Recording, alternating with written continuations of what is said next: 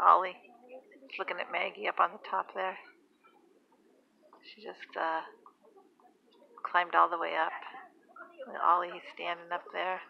He wishes he could climb, but he can't climb nowhere because he don't have an enclosure. He's sitting in a tunnel that's as tall as he is. So uh, we need to get these orangutans a yard, San Francisco Zoo.